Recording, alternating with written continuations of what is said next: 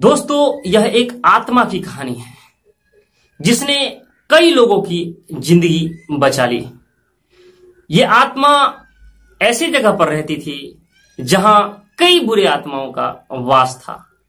और यह सच्ची कहानी आधारित है।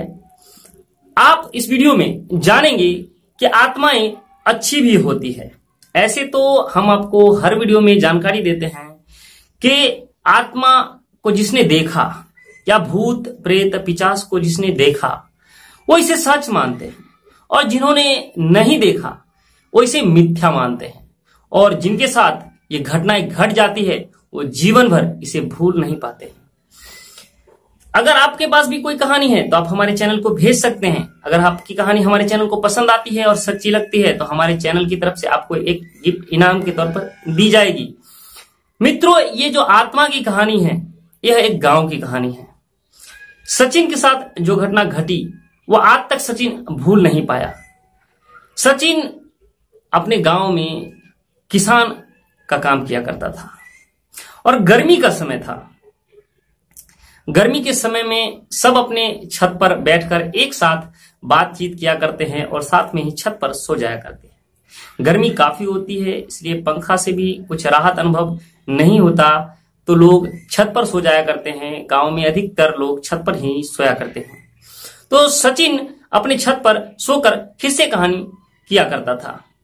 तो सचिन के चाचा भी काफ़ी खिस्से कहानी किया कहते थे और हमेशा वो कोई ना कोई ऐसी कहानी सुनाते थे जो थोड़ा सा अलग हुआ करता था। एक बार सचिन के चाचा ने सचिन को कहानी सुनानी शुरू की।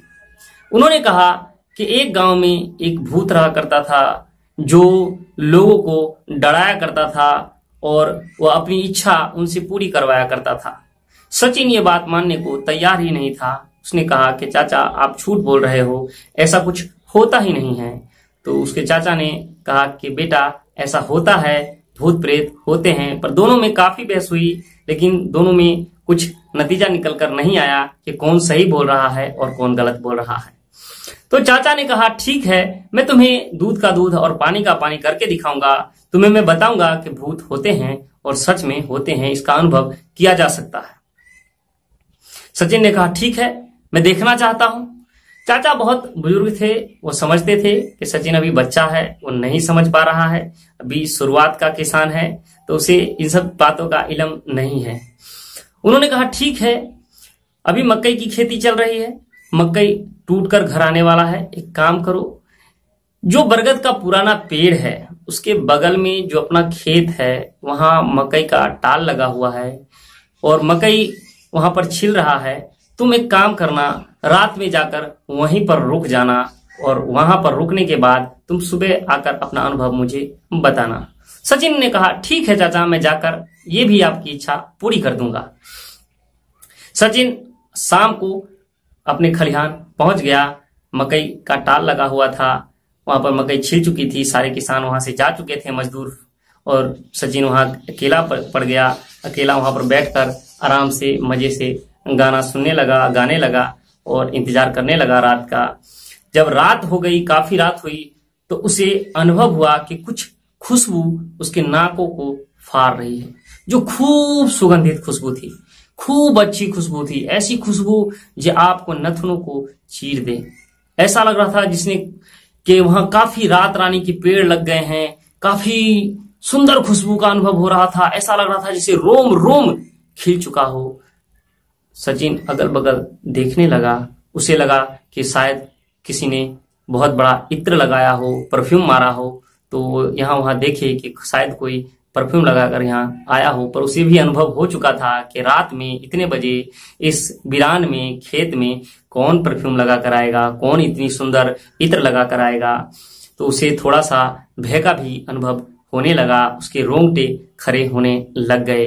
मित्रों, आपके भी रोंगटे खड़े हो जाएँगे। अगर आप कहीं आधी रात को सुनसान जगह पर हो, वहाँ इत्र की खुशबू ऐसी आ रही हो, जैसा लग रहा हो कि आपकी आत्माएँ आपका जिस्म छोड़ देगी। आपको सुगंध ऐसे आ रहे हो, जैसा लग रहा हो कि कोई पवित्र वस्तु वहाँ से गुजर रही है। सचिन को भी ऐसा ही अनुभव हो रहा था। सचिन भगवान का नाम ले रहा था हे भगवान हे भगवान, मुझे चाचा ने जो कहा, कहीं वो सच तो साबित नहीं होने जा रहा है। कोई आत्मा तो मुझे नहीं दिखने वाली है। सचिन जैसे तैसे रात गुजारने लगा। डर रहा था, उसे नींद भी नहीं आ रही थी। काफ़ी घबरा रहा था। झिंगुरों की आवाज़ उसे सुनाई पड़ रही थी। काफ़ी डरावनी लग रही थी। कई सारे गाँव में जो प्राणी होते हैं, जीव होते हैं, गिद्दर जिसे कहते हैं, खिखिर कहते हैं, उसकी डरावनी हुआ हुआ की आवाज़ आ रही थी। और ज़्यादा भय लग रहा था, उसे लग रहा था कि अब मेरे पीछे कोई खड़ा है। कोई मेरे सामने खड़ा है, कोई मेरे बगल में खड़ा है, उसे एहसास हो रहा था कि उसको चारों तरफ़ से कई लोगों ने घेर रखा है। वो डर के मारे अपना पूरा जिस्म तक हिला नहीं रहा था, वो पूरा टाल के बीच में जाकर छिप गया था, मकई के बीच में जाकर छिप गया था। उसे एहसास हो रहा था कि कब सुबह हो और कब मैं यहाँ से भाग लू। जैसे तैसे सुबह हुई, वह घर आया और घर आकर अपने चाचा को सारी बात बताई। चाचा उसे अपने कुलदेवी के पास लेकर गया और कुलदेवी का दरवाज़ा खोलकर उसे कहा कि, बताओ, क्या सुगंध ऐसी ही थी? एकदम सेम सुगंध थी, ऐसी ही सुगंध। पूरा जैसे मन मोह ले, मधुर सुगंध। तो सचिन ने कहा हाँ चाचा, बिल्कुल ऐसी ही सुगंध थी उस जगह पर। तो कहा, बेटा, तेरी जान तेरी कुलदेवी ने बचाई है, तेरी जान तेरी देवी ने बचाई है। वहाँ कई ऐसी बुरी आत्मा का स्थान है पर मैं यहाँ रात भर प्रार्थना कर रहा था कि हे देवी, हे मेरी कुल देवी मेरे सचिन को बचाना, मेरे सचिन की रक्षा करना, क्योंकि वो बच्चा है, नादान है, सिर्फ़ अभी अनुभव कर रहा है।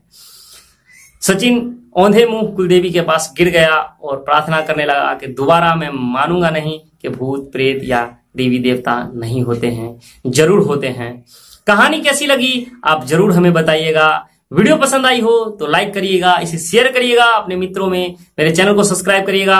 हर रोज मैं आपको एक नई कहानी सुनाता हूँ, मैं चाहता हूँ कि आपको अच्छी कहानी मिले और फ्रेश कहानी मिले। तब तक के लिए हमें आज्ञा दें, धन्यवाद।